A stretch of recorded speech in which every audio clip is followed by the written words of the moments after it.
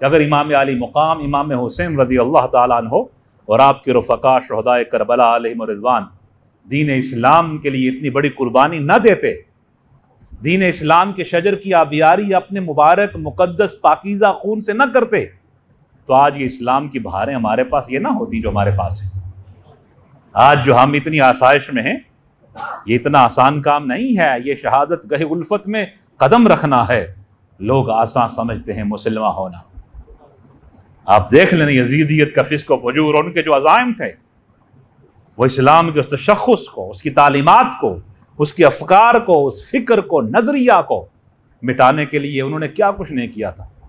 اس میں کوئی دوسری رائے ہے؟ یہ تاریخی حقائق اور فیکٹس ہیں۔ لیکن کس چیز نے دین اسلام کے شجر کی آبیاری کی اور اس فکر کی، اس نظریہ کی پاسداری کی، اپنے نانا جان کے دین متین کے لیے قربانی دی؟ اپنی قربانی، اپنے خانوادے کی قربانی، محبان اہل بیت اتھار کی قربانی، اپنے جوانوں کی قربانی، اپنے بچوں کی قربانی۔ اندازہ ہے آپ کو؟ پھر اس قافلہ کے بعد، جو اس قافلہ حق کے شہداء کے بعد پھر غازیان کربلا، ان کی قربانی۔ آپ کو اندازہ ہے اس بات کا؟ کتنی بڑی قربانی ہے؟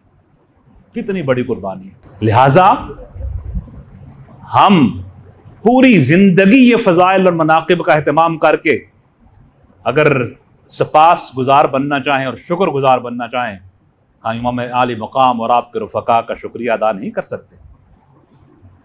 آج ہم آسائش کے ساتھ کہتے ہیں جی ہمیں سنت رسول میسر آ گئی اور ہمیں نسبت میسر آ گئی، ہمیں فیض حاصل ہو گیا، عمل و اطاعت کی توفیق مل گئی۔ اللہ کا شکر ادا کریں کروڑہ بار۔ لیکن اس کے ساتھ مان یہ ذہن میں رکھیں کہ دین اسلام کے لیے ہستیوں نے جو قربانیاں دی ہیں، شہداء، صحابہ کرام، اہل بیت رسول نے قربانیاں دی ان کی قربانیاں، ان قربانیوں کے سلا میں اللہ نے یہ بہاریں ہمیں عطا فرمائی۔